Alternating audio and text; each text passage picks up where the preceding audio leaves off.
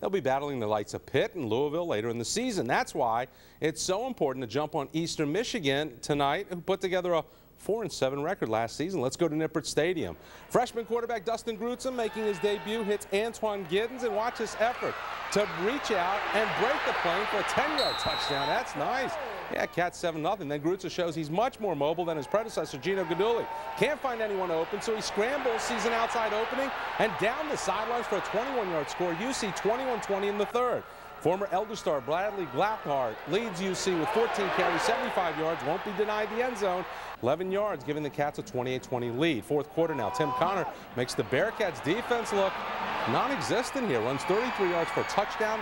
That's 28-26 UC. Eastern Michigan goes two for the tie. Matt Bohnet's passing complete. So the final shot for EMU, fourth and one at the 39, but Connor is stopped by John Newton. UC wins its opener. Yay, 28-26. We rose to the occasion, and that's what you have to do.